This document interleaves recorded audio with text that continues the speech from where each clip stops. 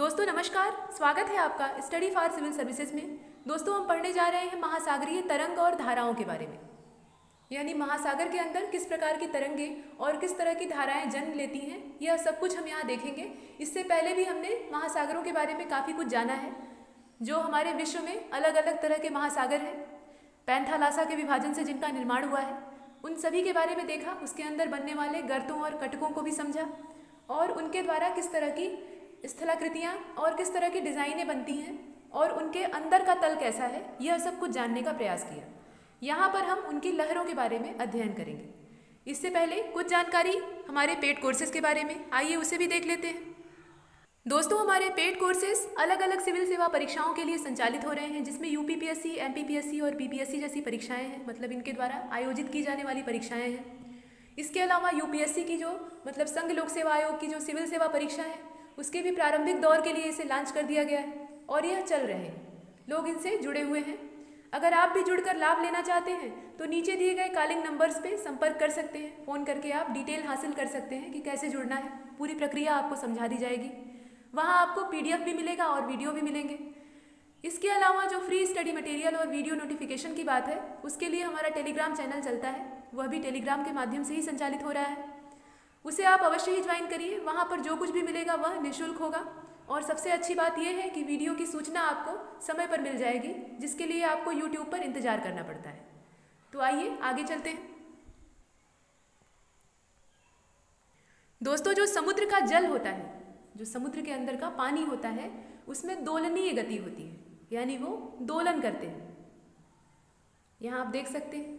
और इसमें जलीय कण ऊर्ध्वाधर रूप में संचलन करते हैं। यानी जो जल के कण होते हैं, पानी के पार्टिकल्स होते हैं, वह ऊर्ध्वाधर चलते हैं, यानी ऊपर की ओर उनकी गति होती है। और तरंग का ऊपरी भाग श्रृंग या शीर्ष कहलाता है और निचला भाग गर्द कहलाता है। मतलब लहरें जो हैं, वो ऐसे ऐसे होती हैं, आप देख रहे हैं। तो जो उठा हुआ भाग है, वो श्रृंग है और जो नीचे धंसा हुआ भाग है, वो गर्द है। श्रृंगों और गर्दों को हमने पीछे भी देखा है, जब वलन वाला चैप्टर मतलब वलन वाली जो टॉपिक थी, उसको हम पढ़ रहे थे। उसमें हमने इसका अध्ययन किया है। यहाँ पर भी लहरों में ऐसी ही डिज़ाइन बनती है। लहरें जो हैं, वो ऐसे ही बनती हैं। कहीं पर ऊँची होती हैं, कहीं पर नीची होती हैं।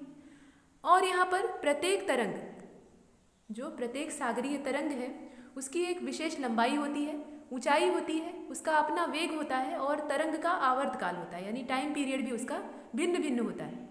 और दो क्रमिक श्रृंगों, यानी जो दो क्रमिक उभार हैं, एक के बाद एक, और गर्तों के मध्य, स्थित जो ऊर्ध्वाधर ऊंचाई होती है, उसे तरंग उच्चता या आयाम कहा जाता है। इसका मतलब समझ रहे हैं?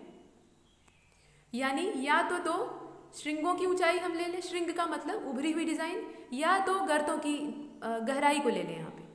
दो क्रमिक गर्त ले लें, या फिर दो क्रमिक श्रृंग ले लें।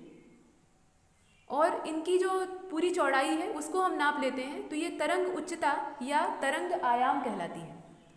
इसे ही आयाम कहते हैं। अब चलिए आगे चलते हैं। इसके बाद दिया हुआ है कि सागरीय तरंगों की उत्पत्ति सामान्य रूप से सागर के जलीय धरातल पर पवनों के घर्षण के कारण मानी जाती है। यानी जो समुद्र की लहरें हैं, उसकी उत्पत्ति कैसे होती है? तो समुद्र की जो ऊपरी सतह होती है, उसके साथ हवा का घर्षण होता है। यहाँ पे फ्रिक्शनल फोर्स उत्पन्न होता है और इसके कारण लहरों की उत्पत्ति मानी जाती है। तरंगों की ऊंचाई पर, जो तरंगों की ऊंचाई होती है, उस पर पवन का वेग पूरी तरह से काम करता है, जो हवा की रफ्तार होती है, वह यहाँ पर कार्य करती है। और उसके प्रवाहित होने की अवधि, यानी वह कितने समय तक प्रवाहित हो रही है, यह अवधि तथा सागर के जलीय धरातल के विस्तार का भी इस पर असर पड़ता है। यानी जो समुद्र का जलीय धरातल है, उसका भी कितना विस्तार है, इस पर भी तरंगों की स्थिति और उनकी गति निर्भर करती है। लेकिन हमने देखा कि जो सागरीय तरंगे हैं, इसमें पवनों का घर्षण, यानी हवा का घर्षण मुख्य भूमिका निभाता है, वह समुद्र की जो ऊपरी सतह होती है उसके साथ रगड़ करता है, जिसके परिणाम स्वरूप लहरें उत्पन्न होती हैं। अब यहाँ पर सागरीय जल की गहराई अगर ज़्यादा होगी, यानी समुद्र का पानी ज़्यादा गहरा होगा तो उच्च तरंगों का निर्माण होगा, यानी तरंगे ऊँची होंगी, लेकिन इनका जो वेग होगा, वह अपेक्षाकृत अधिक होगा। स्वाभाविक है, ऊंचाई ज़्यादा होगी तो वेग भी जो है वो ज़्यादा हो जाएगा यहाँ पे। और जब तरंगों की श्रृंखला तरंगों की जो श्रृंखला है, यानी जो तरंगों की सीरीज़ है, वह तटवर्ती भागों में पहुँचती है तो यह देखा जाता है। ऐसी स्थिति में यहाँ पर उथला जल आ जाता है। आप देख रहे हैं जो मध्य भाग है। आप तरंगों को इस तरह से देखिए कि ये गहरे समुद्र से किनारे की ओर बढ़ रही है, इस तरह से। तो जहाँ पे गहरा समुद्र है, वहाँ पर इनकी ऊंचाई थोड़ी ज़्यादा होगी। लेकिन जब ये किनारे पर पहुँचेंगी तो आप जानते हैं जो किनारे होते हैं, वो अपेक्षाकृत कम गहराई वाले होते हैं, मध्य भाग ज़्यादा गहरा होता है। तो जब ये किनारे पर पहुँचेंगे तो वहाँ गहराई कम हो जाएगी और इसके कारण इनका जो वेग है, वो भी कम हो जाएगा और इनकी जो तरंगे हैं, वह दीर्घ वृत्ताकार बन जाएँगे। दीर्घ वृत्ताकार इसलिए बन जाएँगी क्योंकि अब उनके उत्थान में बाधा आ रही है, वह ऊँची नहीं बन पा रही। उनकी प्रगति में बाधा उत्पन्न होती है। ऊँची क्यों नहीं बन पा रही है? क्योंकि उन्हें ऊंचाई लेने के लिए नीचे गहराई मिली नहीं रही है। कोई भी तरंग सिर्फ़ ऊपर ही नहीं चलती। ऐसा नहीं है कि आप ऊपर ही ऐसे ऐसे तरंगों को बना देंगे। वह ऊपर बनेगी तो उतना ही उसका हिस्सा नीचे भी जाएगा। इस तरीके से। मतलब इतनी ऊपर गई तो इतना ही नीचे भी दबाव डालेगी, फिर ऊपर जाएगी, फिर नीचे जाएगी। तो इसके लिए उसे जब ज़्यादा ऊंचाई लेगी तो नीचे उतनी ही गहराई चाहिए होगी। अगर गहरी ज़मीन नहीं मिली तो इतनी ऊँची लहर नहीं बन पाएगी और यही कारण है कि जो समुद्र का किनारा होता है, वहाँ पे लहरों की ऊंचाई इतनी ज़्यादा नहीं रह जाती। और जो मध्य भाग होता है, वहाँ पे लहरें ज़्यादा ऊँची होती है क्योंकि गहराई उन्हें मिलती है। अब इसके बाद आगे देखते हैं महासागरीय धाराओं को। एक निश्चित दिशा में, यहाँ पर दिशा जो है वो निश्चित है। यहाँ पर महासागरीय जल के प्रवाहित होने की जो गति है, उसे धारा कहते हैं। मतलब महासागर का जल जो है, वो एक निश्चित दिशा में प्रवाहित होता है। इसकी अपनी एक फिक्स डायरेक्शन होती है और यही जो उसकी गति है, इसी को जलधारा कहते हैं। अब यहाँ पर जो बल कार्य करता है, वो है कॉरियालिस बल। कॉरियालिस बल के प्रभाव से उत्तरी गोलार्ध की धाराएँ अपनी दाहिनी ओर। यहाँ ध्यान से इसे देखिएगा, ये तथ्य महत्वपूर्ण है। कॉरियालिस बल के प्रभाव से उत्तरी गोलार्ध, यानी जो नॉर्दर्न हेमिस्फीयर है, उसकी जो जल धाराएँ होती हैं, वह अपनी दाहिनी ओर। और दक्षिणी गोलार्ध, यानी जो साउदर्न हेमिस्फीयर है, उसकी धाराएँ मतलब यहाँ जल धाराओं की बात हो रही है, वह अपनी बाई ओर प्रवाहित होती हैं। उत्तरी गोलार्ध में जो है, वो दाहिनी ओर प्रवाहित होंगी, और दक्षिणी गोलार्ध में जो है, वो बाई ओर प्रवाहित होंगी। यहाँ पर उल्टा है। दक्षिण वाली जो है वो बाई ओर प्रवाहित हो रही। महासागरीय जलधाराओं के संचरण की इस सामान्य व्यवस्था का एकमात्र प्रसिद्ध अपवाद है हिंद महासागर के उत्तरी भाग में। मतलब इसमें कहीं कहीं एक्सेप्शन मिलता है तो ये एक मात्र ही है। मात्र एक यहाँ पर अपवाद है और वो है इंडियन ओशियन में उत्तरी भाग में। यहाँ पर जो जल धाराएँ हैं इनकी दिशा मानसूनी हवाओं की दिशा के परिवर्तन के साथ बदल जाती है। यानी यहाँ पर मानसूनी हवाएँ जो महासागर की जल धाराएँ हैं, उन पर असर डाल देती हैं। और यही कारण है कि वह अपनी दिशा बदल लेती हैं। अदरवाइज़ इनकी दिशा जो है, वही रहेगी। मतलब एक फिक्स डायरेक्शन है। और ऐसा क्यों होता है कि एकदम निश्चित है? क्योंकि इन पर कॉरियोलिस बल का प्रभाव होता है। और कॉरियोलिस बल जो है, यह पृथ्वी के घूर्णन से संबंधित है। पृथ्वी अपने अक्ष पर घूर्णन कर रही है, जिसके परिणाम स्वरूप यहाँ पर इस बल का जन्म होता है। और आप जानते हैं पृथ्वी एक समान गति से और निरंतर अपने अक्ष पर घूम रही है। अगर पृथ्वी की गति में परिवर्तन हो जाए तो ये सागर की जो जलधाराएँ हैं, यह अपना दिशा मतलब अपनी डायरेक्शन को चेंज कर सकती हैं। लेकिन ऐसा होने वाला है नहीं तो इनकी भी अपनी एक निश्चित दिशा है। सिर्फ़ इसमें अपवाद होती हैं, ये हिंद महासागर के उत्तरी भाग में पाई जाने वाली जलधाराएँ, जो कि मानसूनी हवाओं के साथ तालमेल बैठा लेती हैं और अपनी दिशा बदल देती हैं। इसके बाद देख लीजिए महासागरीय धाराओं का वर्गीकरण। इन्हें कैसे बांटा गया? है तो धारा की दिशा, धारा की जो महासागरीय धारा है, उसकी बात हो रही है। उसको दिशा, गति और आकार के आधार पे, यानी यहाँ पे तीन चीज़ों को ध्यान में रखा गया है। डायरेक्शन, उसकी मूवमेंट और उसकी जो साइज़ है, उसके आकार पर, सॉरी, उसके आधार पर इसे कई प्रकारों में बांटा जा सकता है। यानी यहाँ पर तीन फैक्टर है, उनको ध्यान में रख के इसे कई भागों में बांटा गया है। कुछ भागों को हम यहाँ देखते हैं। जैसे कि पहला है प्रवाह। प्रवाह क्या होता है? किसी चीज़ का बहना, स्वाभाविक रूप से इसका अर्थ यही है।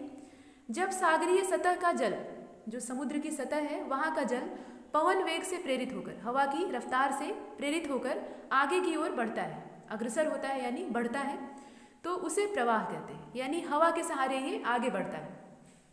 हवा चली और उसके साथ ही पानी की रफ्तार भी उसी दिशा में बढ़ जाती है। जिस दिशा में हवा बह रही है। और इसकी गति और सीमा निश्चित नहीं होती। निश्चित क्यों नहीं होती? क्योंकि हवा की मात्रा निश्चित हो जाए तो इसकी भी सीमा निश्चित हो जाएगी। लेकिन हवा का जो वेग है, वो जैसे जैसे बदलता है, इसकी भी गति और लिमिट दोनों चेंज होते रहते हैं। जैसे कि दक्षिणी अटलांटिक प्रवाह। ये जो है, ये प्रवाह का मतलब यहाँ पर हवा द्वारा प्रवाह का एक अच्छा उदाहरण। दक्षिणी अटलांटिक प्रवाह। इसके बाद हम दूसरे भाग को देखते हैं, जो कि है धारा। स्ट्रीम। जब सागर का जल, यानी समुद्र का जल, एक निश्चित दिशा में और एक निश्चित सीमा, यहाँ देखिए, जो लिमिट है वो फिक्स है। पीछे हमने देखा कि सीमा निश्चित नहीं थी। तो यह निश्चित सीमा के अंतर्गत निश्चित दिशा की ओर तीव्र गति से अग्रसर होता है। यानी यहाँ पर दिशा भी निश्चित होती है और उसकी लिमिट भी निश्चित होती है। और गति यहाँ पर तेज होती है। पानी की रफ्तार काफ़ी तेज होती है। तो इस तरह की जो चीज़ होती है या इस तरह की जो लहर होती है, उसको हम धारा कहते हैं। और इसकी गति प्रवाह से अधिक होती है। प्रवाह की तुलना में इसकी रफ्तार धीमी होती है। सॉरी, तेज होती है। प्रवाह में हमने देखा कि वहाँ न तो दिशा निश्चित थी और न ही सीमा निश्चित थी। यानी हवा जिधर बहा कर ले गई, जल उधर ही बह गया। तो हवा अगर धीमी पड़ गई तो जल के बहने की रफ्तार भी धीमी हो गई। लेकिन धारा पर ऐसा कुछ भी नहीं होता। यहाँ पर एक फिक्स लिमिट होती है और एक निश्चित दिशा होती है यह इधर उधर भटकती नहीं है। और यही कारण है कि ये तेज रफ्तार में चलती है और इनकी गति प्रवाह से ज़्यादा होती है। अब इसके बाद आप विशाल धाराओं को देखिए। विशाल धाराएँ नाम से स्पष्ट है। विशाल मतलब बड़ा, काफ़ी बड़ा। तो यहाँ देखिए, जब सागर का अत्याधिक जल, समुद्र का एक भारी मात्रा में जल, धरातलीय नदियों के समान एक निश्चित दिशा में गतिशील होता है, यानी जल की एक बड़ी मात्रा, एक बड़े अमाउंट में वाटर धरातलीय नदियों के समान, जो ज़मीन पर पाई जाने वाली नदियाँ हैं, उन्हीं की तरह एक निश्चित दिशा में चलने लगता है। तो इसे विशाल जलधारा कहते हैं। और इनकी गति सर्वाधिक होती है, क्योंकि यहाँ जलराशि ज़्यादा है, पानी की मात्रा ज़्यादा है तो इनकी गति अपने आप बढ़ जाती है और इसकी भी दिशा निश्चित होती है। गल्फ स्ट्रीम इसका प्रमुख उदाहरण है। गल्फ स्ट्रीम के बारे में आपने सुन रखा होगा। ये विशाल धारा का ही उदाहरण है। अब यहाँ पर तापमान के आधार पर, यानी टेम्परेचर को आधार बनाकर महासागरीय धाराओं को दो भागों में बांटा जा सकता है। इसके लिए जो आधार बनाया गया है वो है टेम्परेचर कौन कौन सी धाराएँ हैं? आप जानते हैं, एक तो गर्म है, दूसरी ठंडी जल धाराएँ हैं। जो विश्वत रेखा से ध्रुवों की ओर चलेंगी, वो गर्म होंगी, और जो ध्रुवों से विश्वत रेखा की ओर चलेंगी, वो ठंडी होंगी, क्योंकि आप जानते हैं विश्वत रेखा, यानी गर्म इलाका। और ध्रुवीय प्रदेश यानी ठंडा इलाका। तो जो जिधर से आएँगी, उनकी प्रकृति वैसी ही होगी। यहाँ हम वही सब कुछ देख रहे हैं। विश्वत रेखा से ध्रुवों की ओर प्रवाहित होने वाली धाराएँ गर्म और ध्रुवों से विश्वत रेखा की ओर बहने वाली जल धाराएँ ठंडी होती हैं। इस तरह से आगे चलते हैं, सागरीय जल धाराओं की उत्पत्ति। अब ये जलधाराएँ बनती कैसे हैं? क्यों बनती हैं? उसके पीछे क्या कारण है? ये देखते हैं। तो कई कारण हैं, कोई एक इसमें कारक नहीं है, कई इसमें महत्वपूर्ण भूमिका निभाते हैं। कौन कौन से हैं? तो यहाँ चार का ज़िक्र है। पहला तो है पृथ्वी का परिभ्रमण और गुरुत्वाकर्षण, यानी पृथ्वी का अपने अक्ष पे घूर्णन और उसकी जो ग्रेविटी है, ये सागरीय जलधाराओं को प्रभावित करती है। इसके अलावा महासागरीय कारक के तौर पे अगर हम देखें तो तापमान भी प्रभावित करता है। जो लवणता होती है, वो भी प्रभावित करती है। लवणता का भी कम और अधिक होना ये जल धाराओं पर असर डालता है। इसके अलावा घनत्व, पानी का जो घनत्व है और बर्फ़ का पिघलना, ये सब भी इसमें जिम्मेदार होता है। इन सब के अलावा बाह्य सागरीय कारक के तौर पे अगर हम देखें तो हमने पीछे देखा कि हवा के सहारे प्रवाहित हो रही थी तो वायु हो गई। इसके अलावा वायुमंडलीय दाब होता है, यह भी असर डालता है। वर्षा की मात्रा भी इस पर असर डालती है। जो वेपराइजेशन होता है, वाष्पीकरण, वह भी इस पर प्रभाव डालता है और सूर्य का ताप, वह भी इसी से जुड़ा हुआ है। यानी सूर्य के ताप पर भी ये निर्भर करती है। इसी तरह से धाराओं में परिवर्तन या सुधार लाने वाले कारकों को देख लीजिए। तो तट की दिशा और आकार तथा मौसम में परिवर्तन, इसके अलावा नितल की जो स्थलाकृतियाँ हैं, यह सब धाराओं में परिवर्तन कर सकती हैं, यानी उन्हें मोड़ और अपने हिसाब से परिवर्तित कर सकती हैं या फिर सुधार सकती हैं। तो इस तरह से चार प्रकार के कारकों को हमने देखा, जिसमें कि सबसे महत्वपूर्ण भूमिका निभाते हैं दो कारक। एक तो पृथ्वी का परिभ्रमण और गुरुत्वाकर्षण वाला हिस्सा और दूसरा महासागरीय कारक। बाहरी जितने भी कारक हैं, उनका प्रभाव तो पड़ता है, लेकिन उतना व्यापक नहीं होता, उतना स्थायी नहीं होता। स्थायी असर यही दोनों डालते हैं और उसमें भी सबसे ज़्यादा असर डालता है ये पहला वाला, यानी पृथ्वी का परिभ्रमण और उसका गुरुत्वाकर्षण। तो आइए इन्हें क्रमशः देख लेते हैं। सबसे पहले पृथ्वी की परिभ्रमण गति। दोस्तों, हम जानते हैं कि पृथ्वी अपने अक्ष पे, अपने एक्सिस पर पश्चिम से पूर्व की ओर घूमती है, यानी इसकी जो दिशा है वो वेस्ट टू ईस्ट है। और महासागरों का जल तरल होने के कारण ठोस पृथ्वी का साथ नहीं दे पाता। कोई भी गीली चीज़ ठोस चीज़ के साथ कैसे चलेगी? जैसे आप एक गिलास को ले लीजिए और उसे पकड़कर झकझोरिए और उसके अंदर पानी भर लीजिए। तो पानी क्या होगा? कुछ समय तक तो झेलेगा, अंदर ही लहरें पैदा होंगी और उसके बाद वह बाहर छलकने लगेगा, बाहर निकलने लगेगा। अपने, आपने अगर गिलास को ज़्यादा तेज़ी या तीव्र तीव्र गति से हिला दिया, तेज रफ्तार से उसे झकझोर दिया तो अंदर का पानी बाहर आ जाएगा। तो इस तरह से पृथ्वी के साथ भी होता है। यहाँ पे गिलास क्या होती है? ठोस होती है और पानी तरल होता है। वही चीज़ हमारी पृथ्वी के साथ भी है। यहाँ महासागरों का जल जो है वो तरल है, यानी लिक्विड स्टेट में है। और हमारी जो अर्थ है वो सॉलिड है। तो इस तरह से यहाँ पर इनका तालमेल नहीं बैठ पाता। और यह पृथ्वी की गति के साथ, उसके साथ घूम नहीं पाता और पीछे छूट जाता है। यानी पृथ्वी आगे निकल जाती है और जल पीछे छूट जाता है। घूमने के दौर में। आप जानते हैं पृथ्वी अपने अक्ष पर झुकी हुई है और घूर्णन कर रही है। आपने ग्लोब को देखा होगा। तो घूर्णन वैसे ही चालू रहता है और जो महासागर का जल है वो साथ साथ घूमने का प्रयास तो करता है। लेकिन वो घूम नहीं पाता, कुछ पीछे रह जाता है। इससे जब पीछे रह जाता है तो क्या होता है? जल में विपरीत गति पैदा होती है। यानी इसमें विपरीत तरह का मोशन उत्पन्न होता है। तथा वह पूर्व से पश्चिम की ओर धारा के रूप में प्रवाहित होने लगता है। हमने देखा, पृथ्वी के घूमने की दिशा जो है वो पश्चिम से पूर्व है। लेकिन अब जल की दिशा क्या हो जा रही है? वह पूर्व से पश्चिम की ओर हो जा रही है। और यह एक जल धारा का रूप ले लेता है। भूमध्य रेखीय धारा इसी के कारण उत्पन्न होती है। जो इक्वेटर के आसपास की धाराएँ हैं, जल धाराएँ, वह इसी कारक के कारण उत्पन्न होती है। और पृथ्वी की परिभ्रमण गति का प्रभाव सागरीय जल धाराओं की दिशा पर भी पड़ता है। आपने देखा दिशा बदल गई तो गति का प्रभाव इन पर सर्वाधिक मात्रा में पड़ रहा है। इनकी दिशाओं को बदलने में ये सक्षम है। आपने ये देख लिया कि पृथ्वी घूम रही है? सागर का जल उसके साथ साथ, पूरा उसका साथ नहीं दे पा रहा है और कुछ पीछे छूट जा रहा है। इसके कारण इसमें विरोधाभास हो रहा है और वह जल पीछे की ओर गति करने लग रहा है, यानी उसकी डायरेक्शन चेंज हो जा रही है और वह पूर्व से पश्चिम की ओर अपनी धारा बना ले रहा है। और ऐसी जलधाराओं का एक नमूना हम भूमध्य रेखीय जलधारा के रूप में देख सकते हैं। अब चलिए दूसरे कारक को देखते हैं। यह है वायुदाब, यानी हवा का दबाव। तो जहाँ पर वायु दाब ज़्यादा होगा, हवा का प्रेशर ज़्यादा होगा, वहाँ पर जल का तल नीचा होगा। वहाँ पे पानी की जो सतह होगी, उसको हवा का दबाव नीचे दबा देगा और वहाँ की सतह नीचे हो जाएगी। और जहाँ पर कम वायु दाब होगा, वहाँ पे सतह ऊपर उठ जाएगी। स्वाभाविक है, किसी चीज़ पर आप प्रेशर डालेंगे तो वो नीचे दबेगी और जहाँ प्रेशर कम हुआ, वहाँ पे ऊपर उठने का प्रयास करेगी। तो आप देख लीजिए, कम वायु दाब वाले क्षेत्रों में जो जल का तल होता है, वह ऊँचा रहता है। और समुद्र तल पर प्रति वर्ग इंच क्षेत्र पर। यहाँ पर प्रति वर्ग इंच में नापा गया है। इस क्षेत्र पर प्रायः वायु का लगभग पंद्रह पौंड दबाव पड़ता है। यानी वायु की इतनी मात्रा जो है यहाँ पर दबाव डालती है और इसके कारण जल धाराएँ उत्पन्न होती हैं। यह भी जल में डिस्टर्बेंस पैदा करती है। और डिस्टर्बेंस जब ये वायुदाब पैदा करता है तो जहाँ दबा दिया, वहाँ तो गड्ढा बन गया, यानी लहरें नीचे चली गई।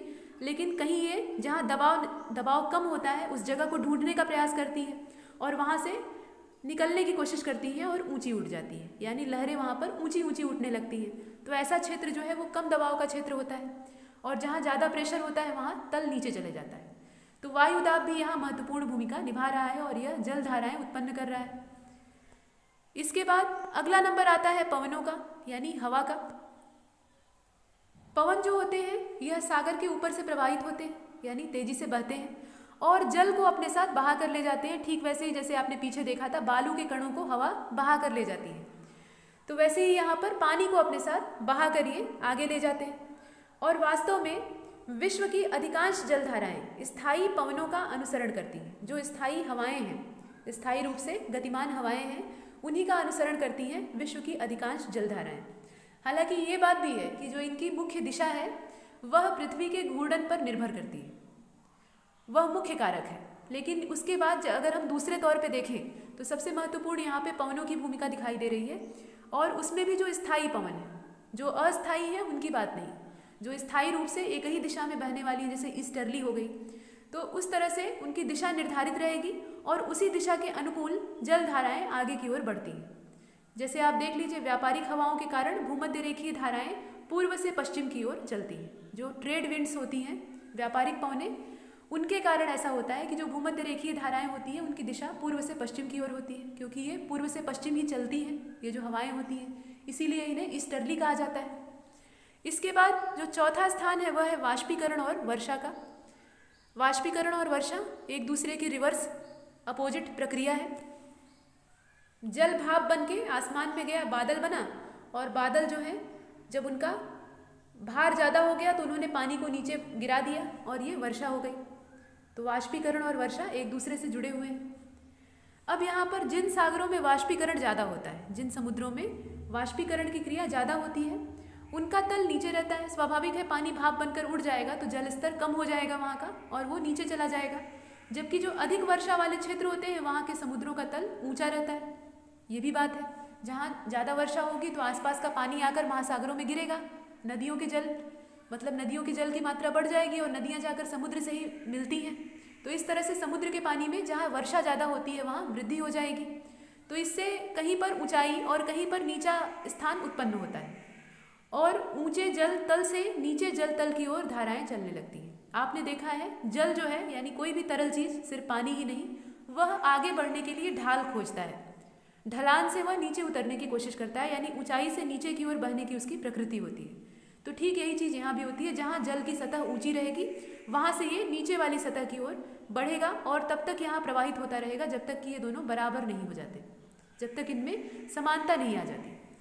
अब देखिए, भूमध्य रेखीय जलधाराएँ अधिक वर्षा के कारण ही उत्पन्न होती हैं। आप जानते हैं, जो विश्वत रेखीय क्षेत्र होते हैं, वहाँ वर्षा की मात्रा ज़्यादा होती है और इस कारण यहाँ पर जलधाराओं की उत्पत्ति होती है। इसके बाद पाँचवें नंबर पर हम देखते हैं घनत्व प्रवणता को।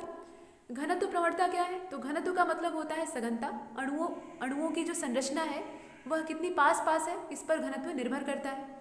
तो जिन सागरों में लवणता कम होती है, जहाँ पर लवणता की मात्रा कम होती है, उनका घनत्व कम होता है। इसका मतलब ये है कि जहाँ पर साल्ट की मात्रा ज़्यादा होगी, यानी लवण की मात्रा ज़्यादा होगी पानी में, वहाँ पर डेंसिटी बढ़ जाएगी। तो जहाँ लवणता कम होगी, वहाँ घनत्व कम हो जाएगा। और जिन सागरों में घनत्व ज़्यादा होता है जिन सागरों का घनत्व अधिक होता है, वहाँ पे लवणता की मात्रा भी ज़्यादा होती है। अब देखिए जहाँ घनत्व ज़्यादा होगा, जहाँ डेंसिटी की मात्रा ज़्यादा होगी, वहाँ पर सागरीय तल नीचा होगा, यानी समुद्र का जो तल है, वो नीचा होगा, धंसा हुआ होगा। आपने इससे पहले जो वलन बन रहे थे, उसमें उभारों को देखा था, जो ऊपरी सतह थी, उसका घनत्व? जो ऊपर की सतह थी, उसका घनत्व क्या था? कम था। और जो धसी हुई ज़मीन थी धसी हुई सतह थी, उसका घनत्व ज़्यादा था।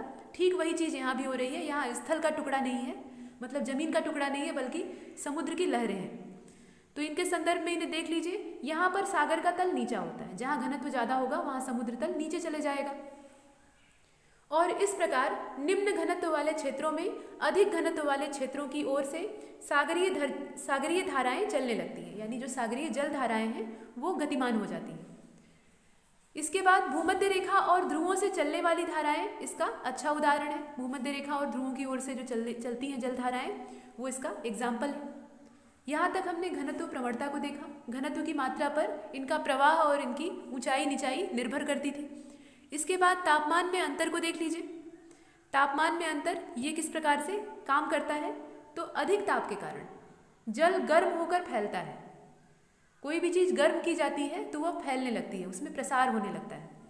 उसके विपरीत ठंडी कर दी जाती है तो वो सिकुड़ जाती है, भले ही वो पानी ही क्यों ना हो।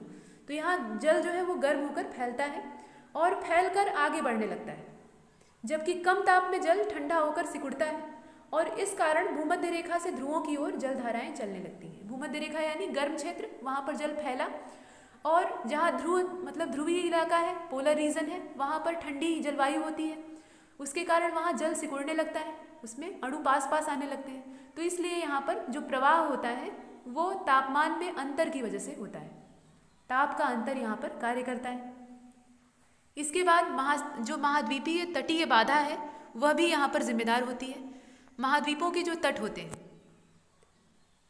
जब जल धाराओं के मार्ग में नुकीले स्थलीय किनारे आ जाते हैं तो जल धाराएँ दो भागों में बढ़ जाती हैं। यानी जल धाराओं की जो स्थिति है, वह दो भागों में विभाजित हो जाती है। जैसे कि आप यहाँ उदाहरण के तौर पे देख सकते हैं, दक्षिणी अटलांटिक जो विश्वत रेखीय जलधारा है, वो ब्राज़ील के सनराग के पास टकरा कर दो भागों में बढ़ जाती है। यानी इस चट्टान से ये टकराकर दो हिस्सों में विभाजित हो जाती है। तो यहाँ पे जो महाद्वीपीय उभार हैं या नुकीले किनारे हैं, उनसे भी जलधाराओं की दिशा में परिवर्तन हो सकता है। यहाँ तक हमने जलधाराओं की दिशाओं पर प्रभाव उत्पन्न करने वाले कारकों को देखा। अब धाराओं का प्रभाव, जो प्रभाव होता है और उनका महत्व होता है, उसके बारे में देख लीजिए। इनका महत्व क्या है और इनका क्या असर पड़ता है, ये सब कुछ यहाँ दिखाई देगा। यहाँ पॉइंट वाइज दिया हुआ है एक एक करके देखते हैं। धाराओं का निरंतर प्रवाह, पृथ्वी के क्षैतिज ऊष्मा संतुलन को स्थापित करने की दिशा में प्रकृति का प्रयास है। हमने पीछे देखा कि नेचर जो है, वो संतुलन बनाने की कोशिश करती है और एक जैसी चीज़ों को करते करते ऊब जाती है तो परिवर्तन ले आती है। लेकिन उसका परिवर्तन हमारी भलाई के लिए ही होता है, पृथ्वी के हित में ही होता है, ऐसा हम जानते हैं। तो यहाँ भी प्रकृति का ही संतुलन का ये प्रयास है, ये ऊष्मा को, यानी गर्मी को संतुलित करने की कोशिश कर रही है। और कैसे? धाराओं के निरंतर प्रवाह से। ज़्यादा गर्म क्षेत्रों से जल धाराएँ ठंडी क्षेत्रों की ओर जा रही हैं ठंडे क्षेत्रों से जल धाराएँ गर्म क्षेत्रों की ओर आ रही हैं। इससे तापमान में साम्यता स्थापित करने की कोशिश की जा रही है। इसके बाद दूसरे नंबर पर आप देख सकते हैं, गर्म धाराएँ अपने साथ आर्द्र पवनों को भी ले आती हैं। गर्म धाराएँ जो है, वो क्या होगा? उसमें वाष्पीकरण की क्रिया होगी और वाष्प बनेगी तो आर्द्रता वहाँ बढ़ेगी। इस तरह से आर्द्र पवनों का निर्माण होता है और यही जो आर्द्र पवनें होती हैं, यही वर्षा कराती हैं, आप जानते हैं। उदाहरण के लिए, उत्तर अटलांटिक में जो प्रवाह होता है, वह पश्चिमी यूरोपीय भागों में वर्षा का कारण बनता है। तो मानसूनी हवाओं का निर्माण यहाँ पर हो जाता है। इस तरह से गर्म जलधाराएँ वर्षा कराने के लिए भी उत्तरदायी होती हैं। इसी तरह से ठंडी जलधाराओं का भी अपना उपयोग है। ठंडी जलधाराएँ अपने साथ प्लावी हिमशैल ले आती हैं, जिन्हें हम आइसबर्ग कहते हैं। और ये जो प्लावी हिमशैल होते हैं यह ताजे पानी का बड़ा भंडार होते हैं। जो जमी हुई ध्रुवों की बर्फ़ होती है, वही टूट टूट कर समुद्र में प्रवाहित हो जाती है और इन्हीं को हम कहते हैं आइसबर्ग। आपने टाइटैनिक टाइटैनिक जो जहाज़ था, उसकी दुर्घटना के बारे में सुन रखा होगा। वह एक आइसबर्ग से टकरा गया था। और आप जानते हैं, आइसबर्ग का सिर्फ़ एक बटे नौ हिस्सा ही ऊपर दिखाई देता है। ये बड़े खतरनाक होते हैं। ताजे जल का स्रोत होते हैं, वो तो बाद की बात है, लेकिन इनकी जो स्थिति होती है, वो बड़ी डेंजरस होती है। एक बटे नौ हिस्सा जो है, यही ऊपर तैरता हुआ दिखाई देता है। और इनका जो असली भाग है नीचे जो पूरा धड़ होता है, वो समुद्र के अंदर स्थित होता है। यानी बाकी जो आठ बटे नौ हिस्सा है, आठ बटे नौ हिस्सा है, वह समुद्र के अंदर ही होता है। तो इस तरह की स्थिति में इनकी आकृति का, इनके साइज़ का सही अंदाज़ा नहीं लग पाता। और जहाज़ इससे टकरा जाते हैं, हालाँकि अब टेक्नोलॉजी उतनी डेवलप हो गई है कि हम इनकी चौड़ाई और लंबाई का सही पता लगा सकते हैं। लेकिन फिर भी कभी कभी ये अचानक आ जाते हैं, और टाइटैनिक के साथ भी ऐसा ही हुआ था। माना जाता था कि वो कभी डूब नहीं सकता। लेकिन एक आइसबर्ग ने उसे तोड़ फोड़ कर रख दिया। तो यहाँ पर जो हिमशैल होते हैं, प्लावी हिमशैल यानी तैरते हुए, प्लवन करते हुए, वह ताजे पानी का विशाल स्रोत होते हैं। परंतु ये हिमशैल आप यहाँ नीचे देख भी रहे हैं। जलयानों के लिए खतरा उत्पन्न करते हैं। जैसे कि यहाँ टाइटेनिक का उदाहरण भी प्रस्तुत हो गया। लेब्राडोर जलधारा के कारण जो प्लावी हिमशैल आया था, उससे टकराकर टाइटैनिक जहाज़ ध्वस्त हो गया था। ये एक सच्ची घटना है और बड़ी ही दुखद घटना थी। जितने भी यात्री थे, उसमें से बहुत कम ही बच पाए थे। और आज भी टाइटैनिक का मलबा हमें पूरी संपूर्ण अवस्था में नहीं मिल पाया है। तो इस तरह से हम देखते हैं। अब इसके बाद आगे चलिए। जो सागरीय जलधाराएँ होती हैं, वह समुद्र में विशाल महामार्ग की तरह काम करती है। यानी एक हाईवे बना देती है। इनके द्वारा एक हाईवे टाइप की संरचना बन जाती है, जिस पर समुद्री जलयान सामान्यतः अनुसरण करते हैं। यानी जलयान जो होते हैं, पानी के जहाज़ वो इन्हीं धाराओं की दिशा का अनुसरण करते हैं और इन्हीं के सहारे एक स्थान से दूसरे स्थान पर पहुँचते हैं। गर्म जल धाराओं के कारण ही ध्रुवीय क्षेत्र में बंदरगाह पर जो बर्फ़ होती है वो नहीं जम पाती। यानी बंदरगाहों पर जब जल जल धाराएँ गर्म अवस्था में पहुँचती हैं, यानी उनका तापमान अपेक्षाकृत गर्म होता है तो इस वजह से वहाँ पर बर्फ़ का जमाव नहीं हो पाता और वे वर्ष भर खुले रहते हैं। यहाँ पर लेब्राडोर की जलधारा और गल्फ स्ट्रीम के मिलन की बात आपने सुनी होगी। गल्फ स्ट्रीम क्या होती है? वो गर्म होती है, क्योंकि वो विश्वत रेखा की ओर से चलती है। और जो लेब्राडोर की जलधारा होती है, वो ठंडी जलधारा है। इन दोनों का जहाँ मेल होता है, वहाँ पर मत्स्यन के लिए अनुकूल परिस्थितियाँ पाई जाती हैं। और वो, वे जो बंदरगाह है, वो वर्ष भर खुले रहते हैं। इस तरह की स्थितियाँ और जगह भी उत्पन्न होती हैं। तो गर्म जल, जलधाराओं का अपना उपयोग है और ठंडी जलधाराओं का अपना इस्तेमाल है। इसके बाद यहाँ पर सारणी बनी हुई है। और इसकी सहायता से हम जल धाराओं को देख रहे हैं और उनकी प्रकृति को देख रहे हैं। यहाँ देखिए, उत्तर विश्वत रेखी जलधारा ये किस प्रकार की है? ये गर्म है। क्यूरोशिवो जलधारा है, ये जापान की काली धारा कही जाती है, ये भी गर्म है। इसके बाद उत्तरी प्रशांत प्रवाह है, ये गर्म होता है, ये भी गर्म जलधारा है। अलास्का की जलधारा है, ये भी गर्म जलधारा है। सुशीमा की जलधारा है, ये भी गर्म है। इसके बाद क्यूराइन जलधारा है ये, ठंडी होती है। कैलिफ़ोर्निया की जलधारा ये भी ठंडी होती है। जो ध्रुवों की ओर से आ रही हैं वो ठंडी रहेंगी। फिर दक्षिण विश्वत रेखी जलधारा ये गर्म होती है। इसके नाम से स्पष्ट है विश्वत रेखा शब्द जुड़ा तो इसका मतलब है कि इसका तापमान बढ़ जाएगा, ये गर्म ही होगी। इसके बाद न्यू साउथ वेल्स की जो जलधारा है, जिसे पूर्वी ऑस्ट्रेलिया धारा भी कहते हैं, ये भी गर्म होती है। हमबोल्ट तथा पेरूवियन जलधारा, ये जो है, ये ठंडी होती है, हमबोल्ट की जलधारा।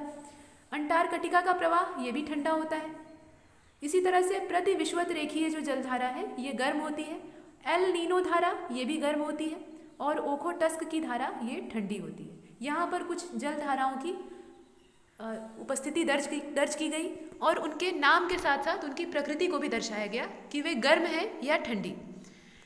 इसके बाद सारणी अभी यही समाप्त नहीं हुई है। कुछ और जलधाराओं के नाम आप देख लीजिए। गर्म और ठंडी जलधारा पे अच्छे खासे प्रश्न बनते हैं।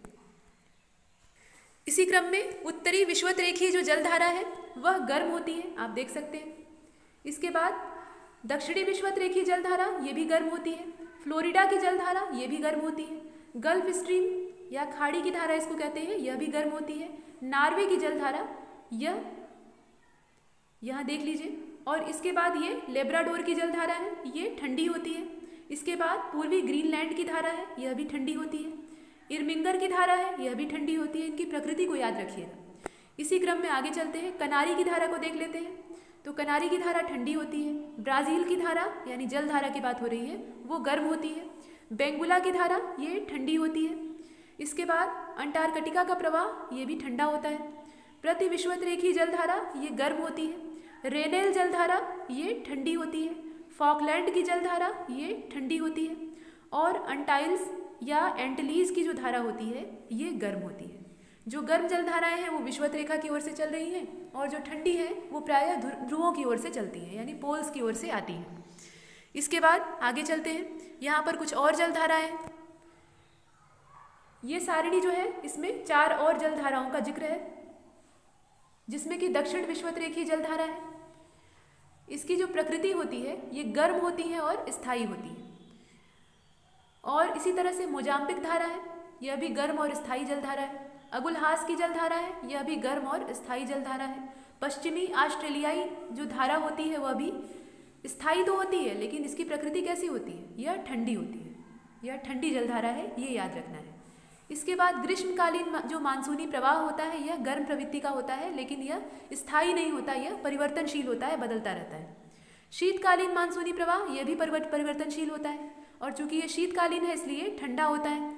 सोमाली की जलधारा ये ठंडी होती है, और दक्षिणी हिंद महासागरीय जो धारा होती है ये भी ठंडी होती है। इस तरह से हमने कुछ प्रमुख जलधाराओं को देखा, और उनकी प्रकृतियों का अध्ययन किया जो कि महासागर में उत्पन्न होती हैं और इन्हें उत्पन्न करने वाले विभिन्न कारकों को भी देखा। पृथ्वी का घूर्णन और कुछ जलवायु से संबंधित कारक यहाँ पर कार्य करते हैं। इन सबको देखने के साथ ही यह अध्याय यही समाप्त होता है। और अगले अध्याय में हम देखेंगे सागरीय जल में तापमान और लवणता का क्या असर पड़ता है और महासागरीय निक्षेप कैसे होते हैं, प्रवाल भित्तियाँ कैसे बनती हैं और उन्हें वर्तमान में कौन कौन से संकट हैं। यह सब कुछ हम यहाँ पर डिटेल में डिस्कस करेंगे। तब तक के लिए नमस्कार